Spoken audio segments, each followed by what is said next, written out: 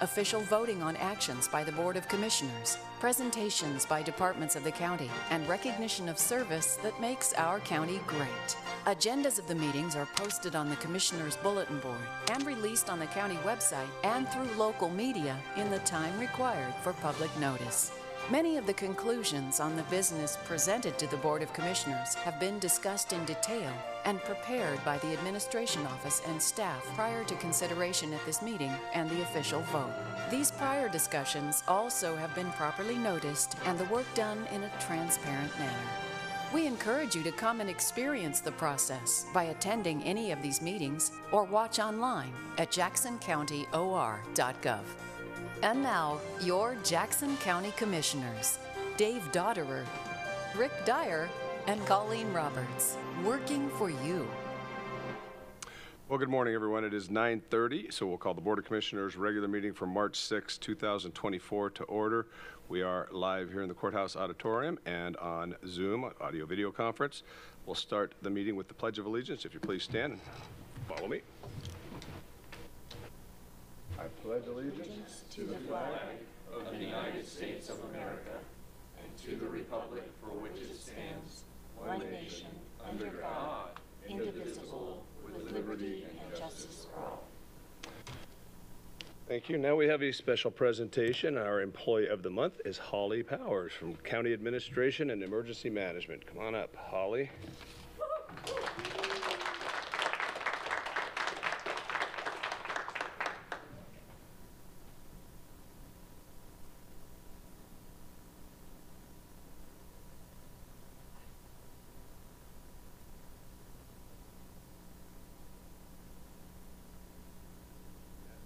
on.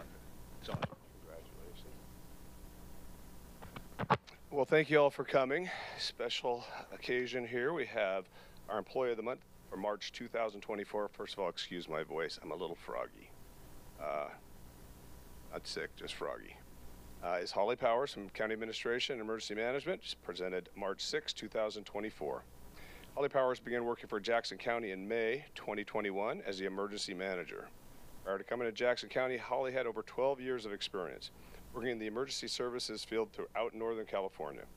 The county is very fortunate to have an emergency manager with that experience that she has to handle the types of emergencies we face in our community.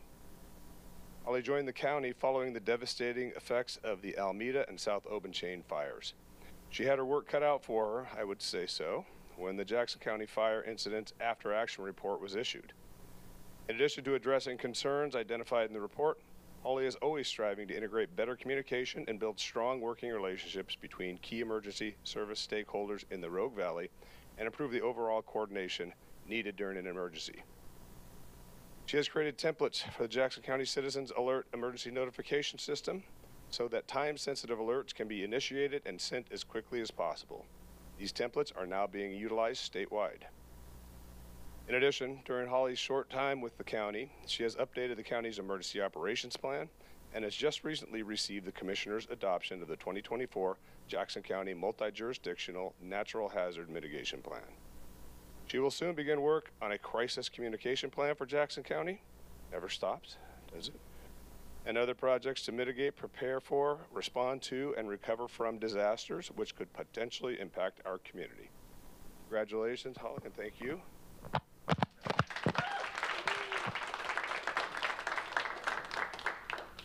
Well, I just, you know, to come here after the disaster of all the fires we had in 2020, and what a time to arrive. and you came anyway. but um, I will tell you, from all the areas I cover, and from one area of Jackson County to the other, um, I hear your accolades just proclaimed. And I will tell you, I go to Shady Cove and they go, Tell your emergency manager, thank you for the great work she does. They work with us in getting our emergency management plan. Uh, ready and in fact sunday i was in ashland and the sou president said we're, we're working on emergency management plan with your, with your emergency manager and it's amazing. And last night i was in gold hill and they're working with you on an emergency management plan as well and, and from one end of the uh, county to the other and i just it's amazing what you're doing and and um, you're our um, employee of the month and probably of the month for every month, and and none too late. So congratulations and thank you for all you do. Oh, they've taken all of my, my, my points here, but I but I did want to say also that you know really thinking about where, where we were when you stepped into this job is pretty amazing, Holly. And I, and I will say also, you know, I've been in personally in meetings just like you're talking about. People sing your accolades, and I really think it's really great the way you bring people together because this is a team effort, and uh, you've really done a great job doing that. And I think that's really where your strength is, and I appreciate that a lot. So congratulations. All right. All right. Well, good. good. Let's give you this right now, and then let's let, and then you can. M- Mr. Chair, Mr. Chair, can I say a few words? I didn't come down there, but I figured I could say them from here. I just want to say, as you just recognize, Holly is like an all-star. She's a superstar. She's a superstar in her profession, in her career. She's a master of her craft. She's one of the best I've ever seen, and I've worked for 31 years in counties all over the state. Um, we're really very fortunate to have her. It's not just here locally that they're singing her accolades. They do this all across our state. State Emergency Management reaches out for Holly for her experience and expertise. And I'm just really glad that you're here. Thanks for being here, Holly.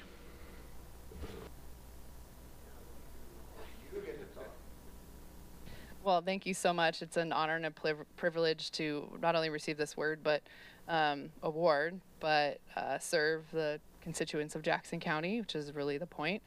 Um, and I really can't do this work without all of our wonderful county departments, um, our cities, our special districts, and all of our community-based organizations. Because Commissioner Dotterrer, as you mentioned, emergency management really is a team effort. There is there is no just one person, and it's pulling us all together so that we can um, really focus on on just how we do better, communicate, coordinate, and and um, serve our community. So I appreciate this greatly, but this award really belongs to a lot of people, not just me, and.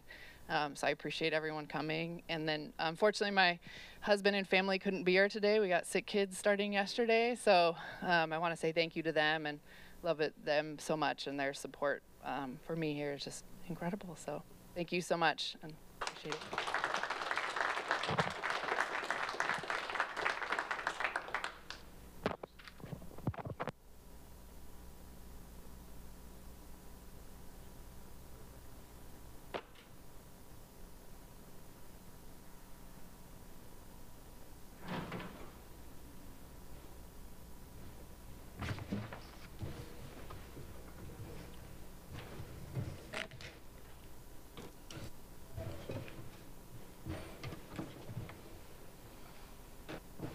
Okay, we'll let the room clear for just a second here.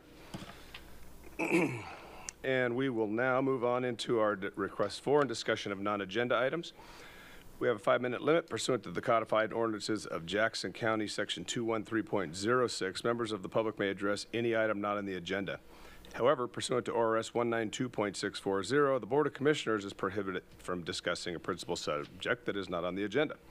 Therefore, the Board of Commissioners will listen to your concerns and may consider the matter you raise by asking staff to follow up on any questions or by placing the matter on the agenda for discussion at a future meeting. We do have one individual signed up here today in the auditorium, and that's Russ Kotz. Uh, Please give your name and address for the record before speaking. Thank you. My name is Russ Couts. My address is 106 Oregon Terrace, Medford, Oregon, 97504. Morning. Good morning. I attended the uh, town hall meeting last night, sponsored by Jackson County for All, because it's important to know where this organization is coming from. It was a packed house. Uh, Denise Kraus and the panel of former commissioners did a great job with their presentation and how the three ballot measures will, number one, increase voter participation by making commissioner positions nonpartisan, improve representation by adding two commissioner positions, and reduce the salaries of commissioners upon adding the two positions. The cost analysis by Ms. Kraus went through in some detail, actually implied money would be saved or barely increased with the addition of two commissioners. It would be helpful to know if their cost analysis is correct. There were other areas of concern that were brought to light that left a number of questions. With these measures going on the May ballot, I encourage you to get ahead of this with some type of community presence. I think a debate would be the best forum to get to the truth. At least a town hall type meeting to present the other side of this information. We want to hear from you. Transparency and communication are essential as county commissioners. If nothing is done, I believe these measures will pass. Thank you. Thank you. Anyone else in the auditorium wish to speak that didn't sign up? Come on up. Name and address for the record, please. My name is Logan Vaughn. I live at 1116 Murray Avenue, Medford. I just wanted to second on what Russ said. I was at the meeting last night too. Um, it would be great to hear from you guys personally as uh, commissioners on this issue. Um, Denise uh, alluded to saving money. Some of the thoughts she had was office sharing, and she started to almost allude to sharing a hotel room when you're on trips and I mean, she didn't go there, but I- she she should, might as well just said, "Why don't you just bicycle to work, Rick?" I mean, what's wrong with you? What's wrong with that, right? Anyway, so I just want to let you guys get ahead of this. We appreciate the go- job you guys are doing. God bless. Keep fighting the good fight. Thank you. Thank you. Anyone else? Oh, Anybody on, uh, with their Zoom hand raised online? Mr. Chair, at this time, I do not have anyone with their Zoom hand Okay, raised yeah. to speak. Uh, Please, uh, staff would like to respond to, Yeah, I, I just want to think it's important to understand that under both, under Oregon law, the county is an entity and county employees cannot uh, spend any time or resources to influence a- an initiative petition or to convince people to sign an initiative petition or not sign it or um, oppose or support any of the initiative petitions as ballot measures. That doesn't apply to the county commissioners uh, when it comes to the use of county time. You're elected officials and you're exempted from the definition of a public employee. Um, so just I, I, so the public has a as a an understanding. Um, I think it's in the paper and stuff that we've filed that someone's filed a, a request for an investigation into some things the county has done in the past, and we'll respond if that's appropriate. Uh, but it is important to understand that the county as an entity can't get involved in initiative petitions or uh, other election matters. yeah, thank you. Well, with that being said, I will let you know that I intend, I have been, uh, and I will intend to continue to make my voice heard um, throughout this campaign, and I think I've made my position clear, but. Rick, can I just add one more thing? Yes, please. So I think it's also important to say that the county, though, it's not, it's a, it's a prohibition against county and county employees supporting and opposing. Um, we can provide, um, factual-based information, um, as it relates to the impacts of passing or, or not passing an initiative petition or a ballot measure. Thank you, and I think it's extremely important to, to provide accurate information to the public, so, um, anyway. And I will, di- I will ditto what, what uh, Rick just said. I- I intend to do the same thing. All right. With that, then we will move on, if I can find my glasses. We're going nowhere without these. Um, So we'll move on to the content, consent calendar, which this week consists of the minutes of meetings, the Board of Commissioners Land Use Meeting of February 20, or February 7th, 2024, on file numbers 439-23-0008-LRP and 439-23-00024-SUB, and the Board of Commissioners work session of Friday, th- uh, February 13th, 2024, uh, Board of Commissioners regular meeting of Friday, February 14th, 2024, and the Board of Commissioners staff meeting of February 15th, 2024. And I will move approval of the consent calendar. I'll second that. Commissioner Dotterrer, Yes. Commissioner Roberts, Yes. Commissioner Dyer. Yes, thank you. Uh, No public hearings today, so we'll move on to discussion and deliberation items. First item there is an order authorizing amendment number one to the Jackson County Personal Services Contract dated June 23rd, 2023 with Four Leaf Incorporated, and this is order number 44-24. Mr. Jordan. And Mr. Chair, members of the board, in this case, Four Leaf Incorporated does currently contract with Jackson County Developmental Services Department. This is to provide additional staff services to uh, the Jackson County Wildfire Resiliency Permit Center. It's uh, located um, at the Wildfire Resiliency Permit Center, um, and they uh, coordinate and expedite um, planning and building permits for Jackson County residents that were affected by the Almeda and South Obenchain fires. This amendment will add additional funding uh, to the already existing program to allow for the use of the remaining grant funds from the Wildfire Assistance Program uh, to be passed through the state of Oregon to the business development uh, from the Business Development Department. Uh, term of the amendments upon execution through June 30th of 2024. It's an additional expense of 201,000, and the remaining grant revenues cover that cost, and I do recommend your approval. Thank you. Any questions? No, I'll move, I'll move to approve Order 44-24. Second. Comments? I, I- for one, I, I think this obviously, uh, this, along with many, many other efforts, though, did help our community uh, recover and rebuild more quickly from the devastating fires than just about anywhere else something like this occurred. So I applaud all the efforts, this one included, and to continue it, I think is still prudent. And I will add, I- you know, that's the feedback I got from both Talent and Phoenix, that how much it, w- it helped to work with the county and all on this. Commissioner Roberts, Yes. Commissioner Dotterrer, Yes. Commissioner Dyer, Yes, thank you. Next item is an order authorizing intergovernmental agreement number 44300-000261005 between the State of Oregon, Oregon Health Authority, and Jackson County. This is order number 45-24. Jordan again? Yeah, Mr. Chair, uh, in this case, as you said, the Oregon Health Authority would like to continue to contract with Jackson County. This is to provide what's called the Choice Model Services. Uh, This is for residents of Jackson County or those who are assigned to Jackson County by the Oregon Health Authority. Uh, That program, the Choice Model Services Program, is designed to promote the availability and quality of individualized community-based services and support.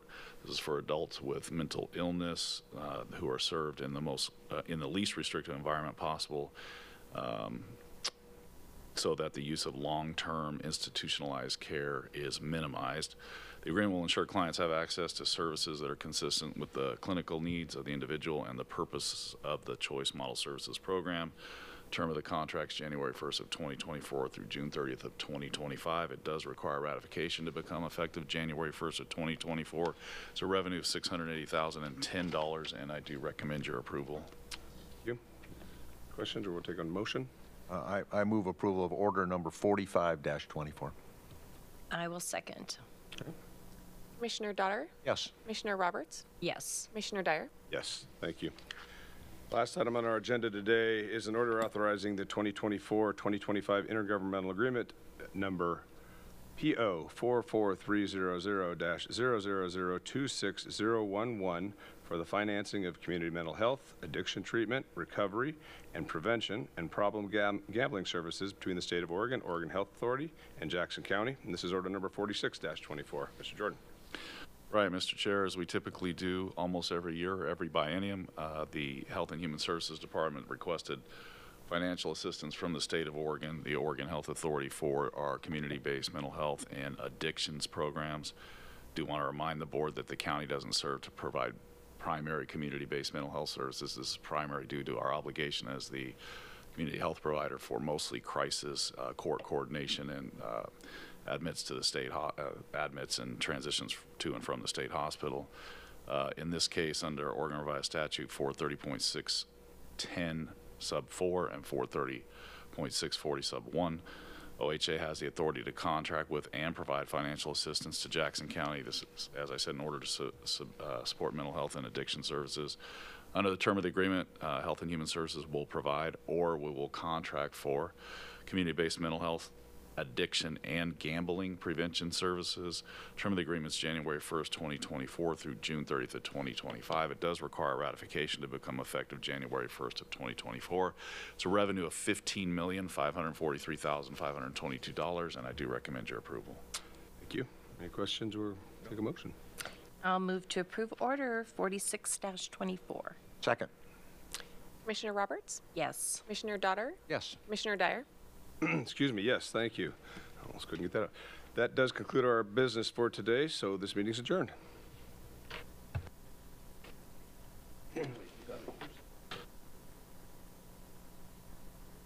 We hope that you have enjoyed this week's Jackson County Board of Commissioners meeting.